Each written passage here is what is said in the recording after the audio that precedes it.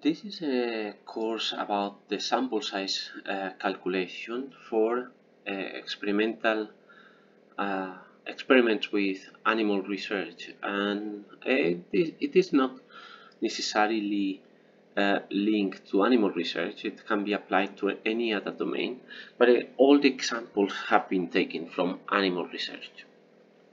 So uh, when you design an experiment for uh, when you do a statistical design of an experiment, there are two main aspects that you have to that you have to address. One is the sample size and the other one is the experiment design.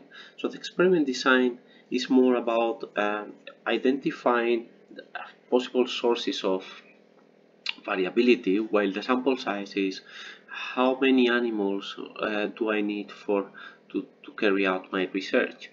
Both aspects are linked, although one doesn't imply the other. So uh, this course is only about the part of sample size. So this is uh, the general outline of, of this lecture today and we will split the lecture in several videos so we will not cover it uh, the full thing in a single video and it is uh, about calculating this, the famous n what, what number of animals I need and if you want to dig into this I would recommend you this book that uh, you can uh, find on the web or otherwise uh, if you want to go more to the sources you can uh, also use this one that is more uh, about uh, the mathematics behind this problem. unfortunately, uh, sample size calculation is a branch of or statistics in general. It is a branch of mathematics, and sample size calculation is one particular application of this of a statistics. So there are a lot of formulas here. We will try to hide them and to give a, bit intuition behind them, but uh, we cannot avoid having some formulas. Okay, so why this course? So let's say that you are developing a new vaccine and you want to show that the new vaccine is effective. And to do that you will use some mice and you will infect them and expose them to the virus and, and then see if they get infected or how much uh, how sick they get. And if you use too few animals it is a waste of time your time and, and money uh, that is the, the funders uh, money it is also unethical because uh, you're doing bad things to animals that at the end will not uh, help to show that the treatment that you are doing is effective. The problem of using too few animals is that the experiment has too little statistical power that we will learn later what it means. Uh, but basically it is that when you go to analyze the data, uh, you can never be sure that the different uh, that there is a significant difference between the vaccinated and the non-vaccinated group. Using too many uh, animals uh, is also a waste of time, a waste of money, and again it is unethical. So if if you design a, an experiment with too many animals, for sure you will be able to see every minute uh, difference between groups, but uh, it is unethical because uh, you could uh, have done it with many less uh, with many fewer animals and and show still and still show the same effect. So you just need enough. There is another way of thinking about this problem of how many animals that is this one. So uh, there are two uh, implied costs by uh, an experiment. One of them is linear with the sample size. So you have to um, maintain the animals, you have to feed them, you have to give them the vaccine, you have to measure. All that uh, grows linearly with the sample size. The more animals you have, the more uh, costly the experiment is. So this is this part. On the other side, you have another coast that is much more difficult to measure that has this shape. So this shape is the uh, cost of taking an incorrect decision. So let's say that uh, you have a very high sample size. So if you have a high sample size, there is very little probability that you make a false positive or a false negative. That is, uh, let's say that you are talking about the vaccine. So there is very little probability that if the vaccine is, is effective, you miss that effect, or on the contrary, if the uh, the vaccine is not effective, you think it is effective. And then uh, the larger the sample size, the, the smaller the probabilities of making these mistakes. But if you have a very small sample size, then you may be unlucky with your samples and simply because of variability of the observations, you may think that uh, the vaccine that is effective, truly effective, you may think uh, it is not. And then you would miss a very useful tool, uh, biomedical tool, that is this vaccine. And, and you would have uh, incurred into high cost simply uh, the, the cost of missing this this uh, vaccine simply because you were in your first experiments. And on the contrary uh, maybe the, the vaccine is not effective but you have been again unlucky with your with your samples and then you think it is effective and then you go on into more and more research just to see to characterize this vaccine. And and at the end you are losing again time and money and uh, mouse lives for a, a, product that is not working. So the probability of making these mistakes false positives or false negatives are larger when you have very uh, small sizes.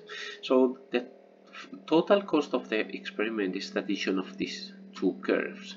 So there is a minimum region so this region is around 20 20 25 so it doesn't mean these these uh, numbers are not written in stone. So it is not that it is uh, 22 and not 23 and not 21 uh, it is that in the range of 20 to 30 animals it, it is uh, good enough to show what you want to show so uh, this 20 to 30 means uh, that it is not 5 and it is not 90 so um, it is just in that range uh, 20 to 30 that you have to test.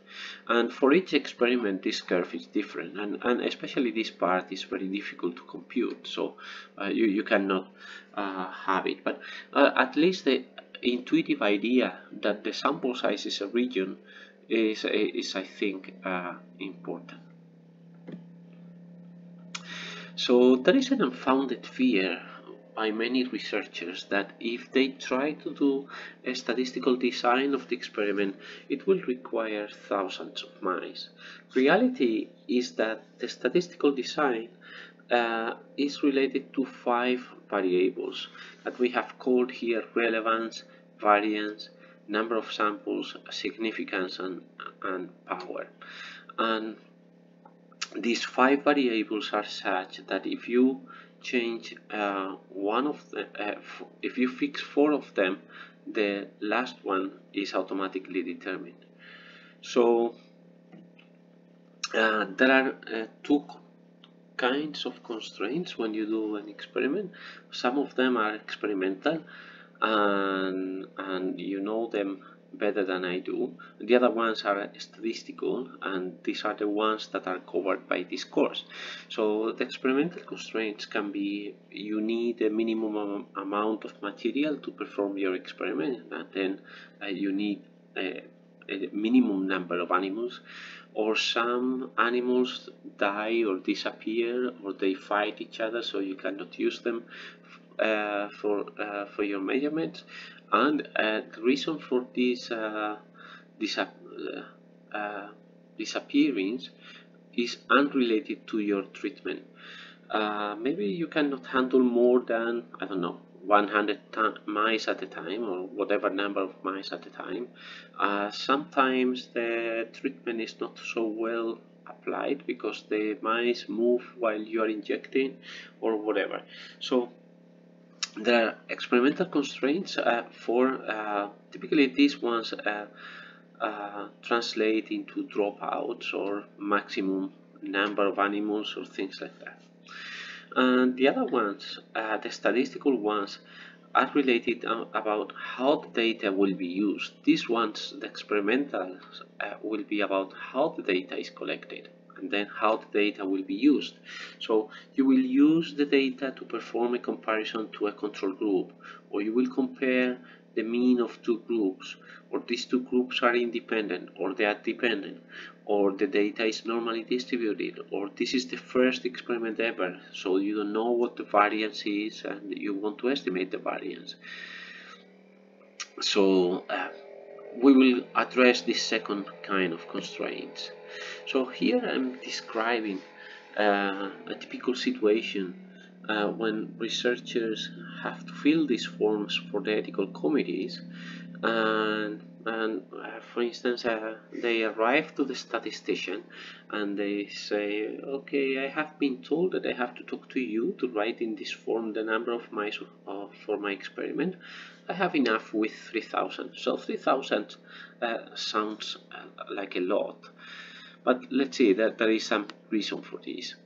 Okay so 3000 okay so what the researcher is typically thinking is that uh, he hates all this writing for the ethical approval of, of experiments. All, all he cares is about uh, performing the experiment and, and and seeing what comes out of the excitement of science. And why should he bother about talking about to a statistician that doesn't know anything about his experiment, biology, or anything related.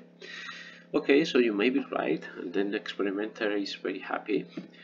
Or you may need less animals, so some of you, uh, you may lose some of your time, some of your money, and some mice lives. Uh, so, or maybe you need more than 3000 and then it is not that you lose uh, some of your time, money, and mice lives. It is that you lose all of them because you never are you are never able to show that what your uh, the effect of your vaccine or your treatment is is effective. Okay, so why don't you calculate how many animals you have? Uh, what are you doing? Okay, I'm studying how the area of a lesion changes with a new drug. And are there previous experiences? Of course, there is no previous experience. This is novel. This is science. And uh, if, I, if it is not novel, I wouldn't have anything to publish. And this is a very stupid question. So uh, he, he's confirmed into the idea that uh, talking to a statistician is not a good idea. Okay, so there is no previous uh, information at all. So, um, do, you, do, you, know if this lesion that uh, you are uh, studying, that is in the skin, is uh, is of a size of about 0.1 millimeter squared, or it is 10,000 millimeters squared? That, that is much bigger than a mouse. Okay, no, it has to be around 50 millimeters squared. So now you know the mean of one of the of the groups. The control groups typically is very well characterized because it is uh, used regularly in many experiments of the same kind. And then when would you say that the drug is interesting? And then, okay, I don't know. I just want to see what comes out from the experiment. Uh, okay, so let's say that the lesion area decreases from 50 to 49.5. Would you still say that your drug is worthy?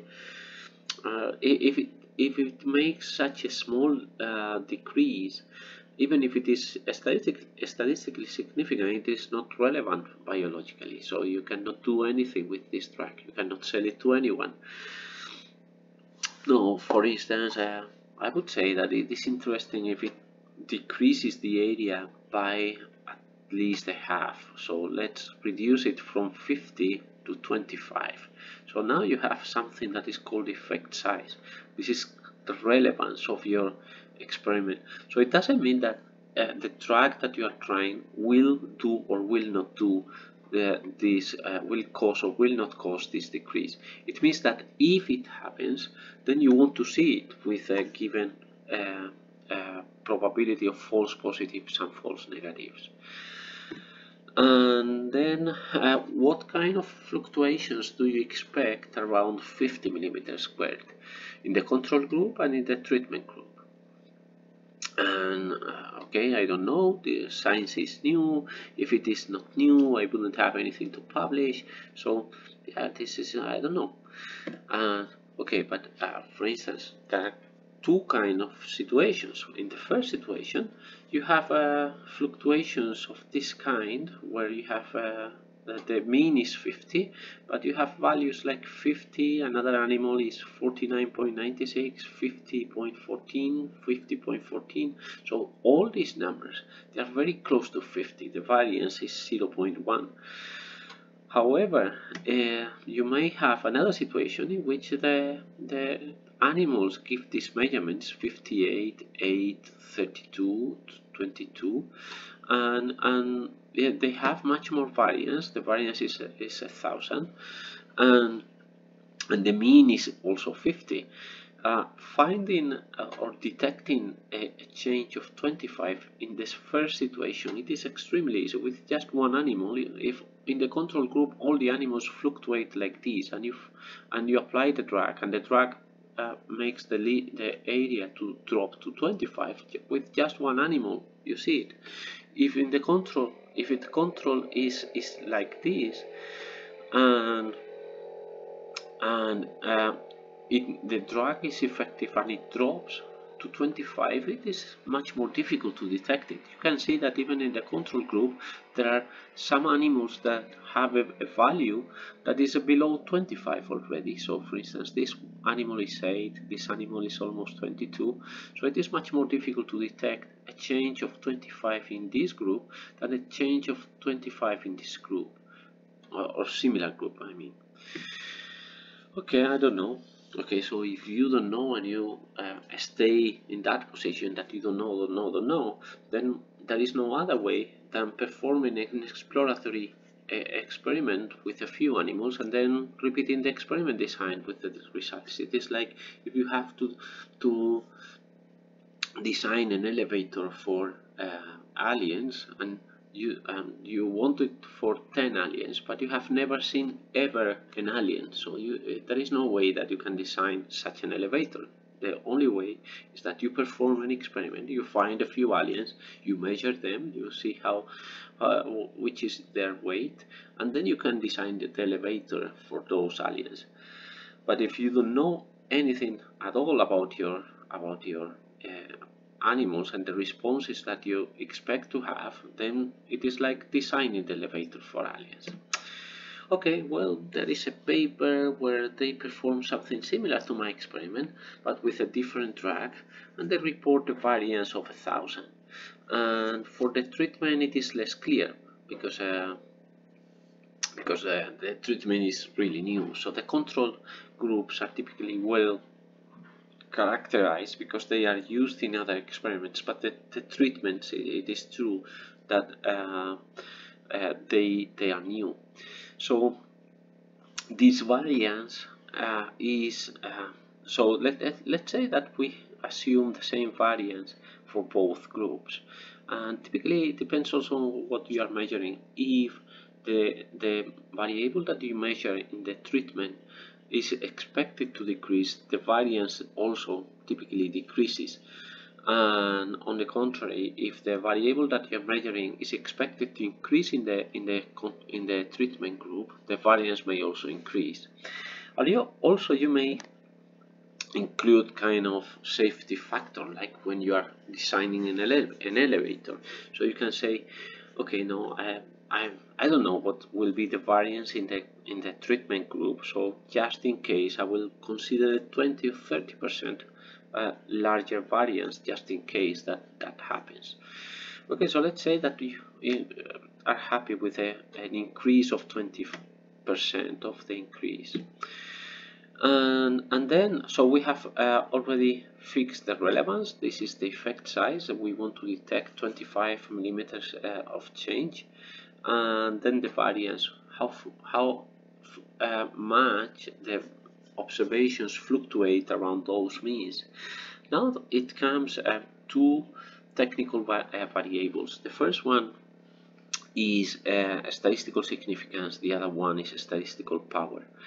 And statistical significance is related to the false positive uh, rates. So what is the probability that uh, you want to uh, uh to have to think that uh, the drug is effective when actually it is not. So the null hypothesis, and we will introduce all this terminology later, but the null hypothesis is that the drug is not effective. If you reject it, you think that the drug is effective. But let's say that it is not. So how likely you want that uh, to happen? So uh, typically you choose 5% where you have already read these confidence levels of 95% and, and no, no one argues this because uh, this is the custom in biomedical sciences so 95% is, is fine. And the other one statistical power is less known. Statistical power is related to the other kind of errors So maybe the drug is effective, truly effective, but because you have been uh, unlucky with your samples, you miss it. So you are not able to show that it is effective. And, and how often do you want that to happen?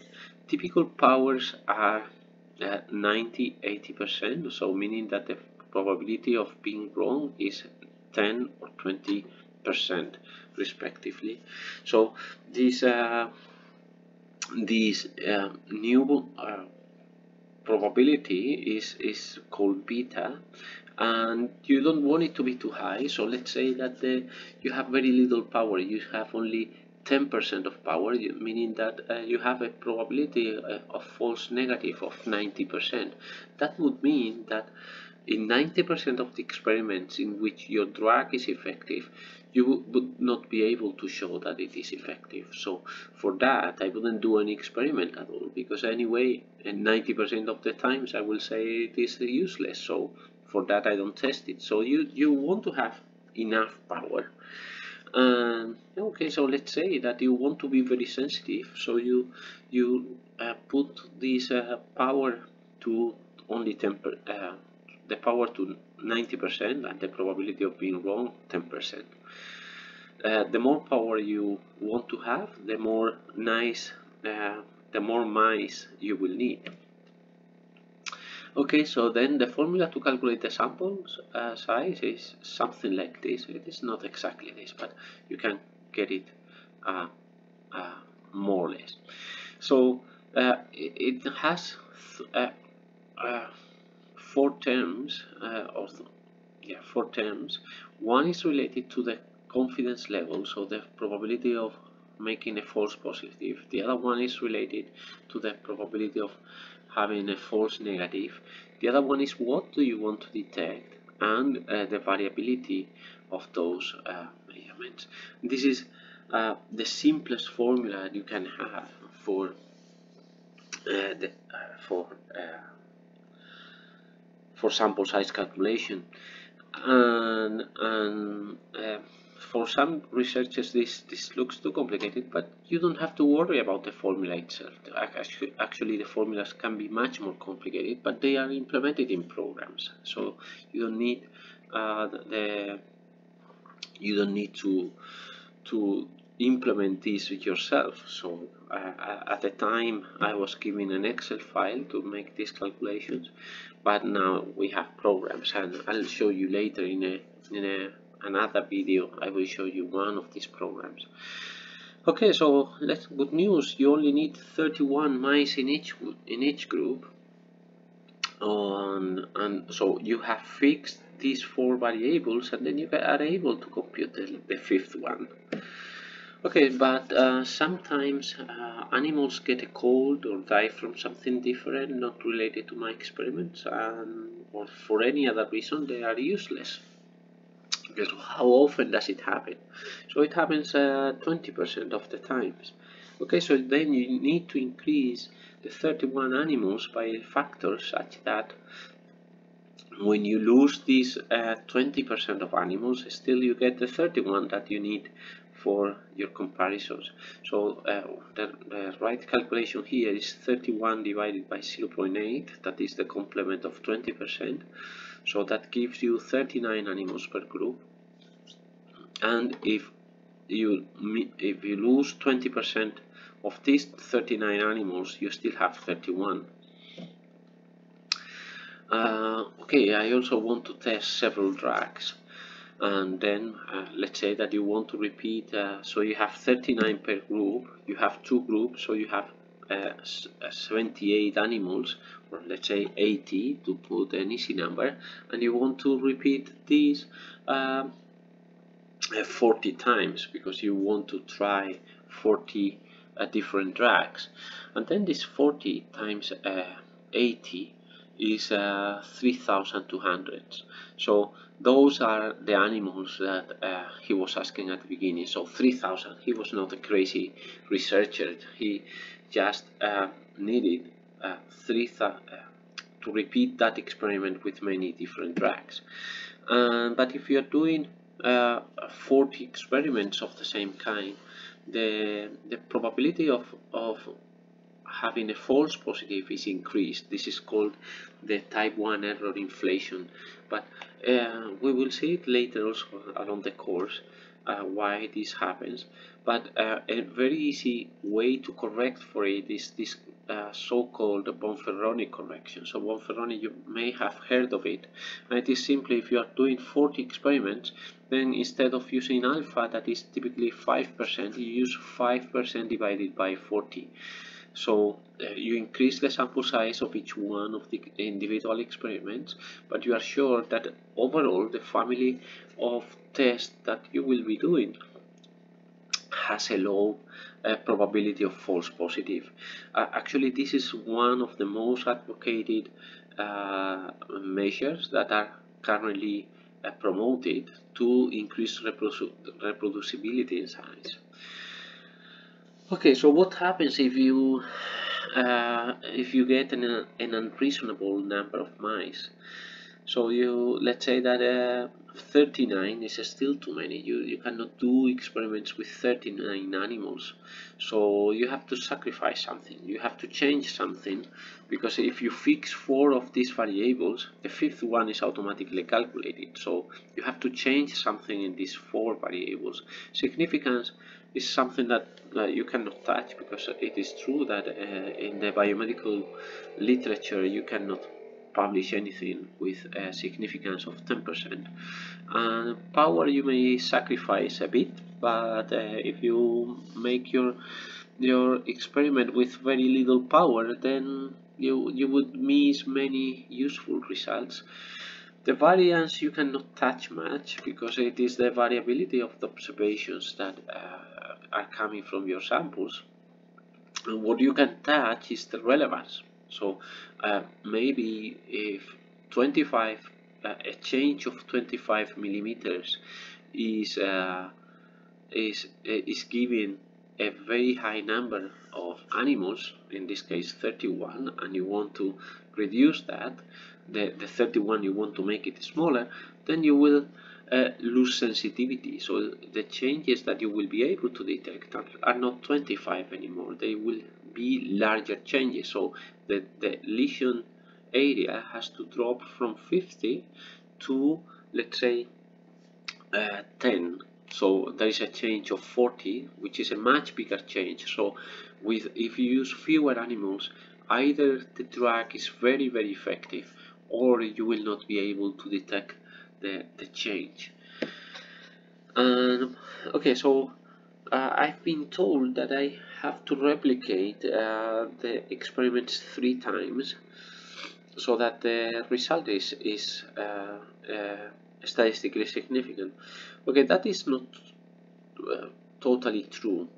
That depends on so uh, that depends on the p-value and and two conditions so there is uh, there are two um, there are two uh, effects that may affect your your uh, results. One is variability that is the one that we have been talking about in the last slides and the other one is bias so maybe when you do your experiment you do something wrong or uh, you, inadvertently you do something different that the difference between the control and the and the treatment is caused by this other reason and not by the control or treatment so uh, so to avoid that, that situation is called bias.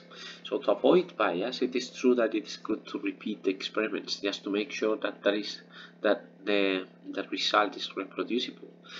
But uh, then the right way of dealing with bias is to think of an overall experiment. So let's say that we had 39 uh, animals. So 39 animals, you want to repeat it uh, three times the experiment. So instead of making 39 times 3, uh, so having, I don't know, 120 animals, what you do is 39 divided by 3. So you divide your experiment in three mini experiments. Each, each one of the mini experiment is uh, uh, will contribute with a, a part of the total experiment. So by dividing into mini experiments that are performed independently, you are able to detect the bias and still you have the control of the variance given by the sample size calculation. The, uh, the other, so uh, that is one of the reasons to repeat the experiment to avoid bias. The other one is, is variance. So let's say that after the uh, doing the experiment you get a p-value that is very close to your threshold so the, the or let's put it differently you get a p-value that is 10 to the minus 10 so uh, the, the difference between the control and the group and the treatment group are so large that it doesn't matter how many how often uh, you repeat the experiment you will always get some significant results in the absence of bias.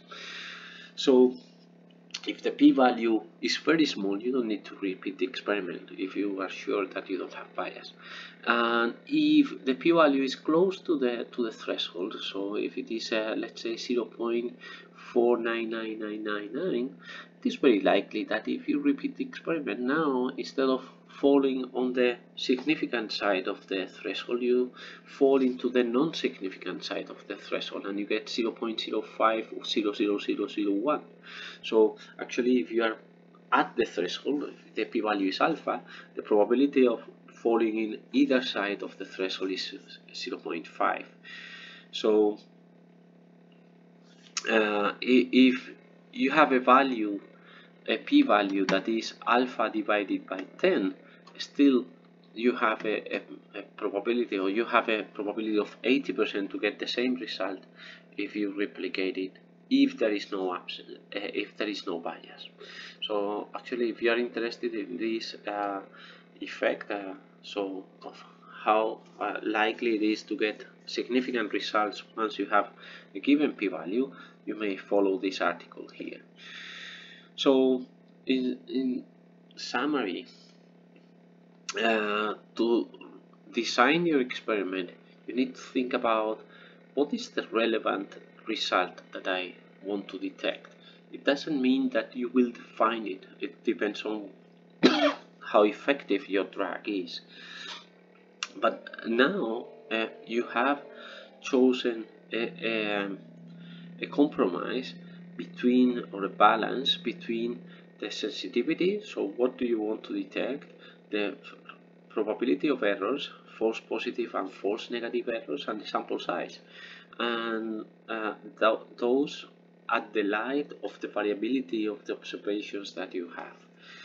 So uh, now you know what is reasonable to expect from your experiment. So if detecting a change of 25 requires 31 animals, but you cannot work with 31 animals, but you can only work with 5 per group, now you are aware that uh, you will not be able to detect changes of 25 millimeters squared at, with, with a, statistical power of 90%.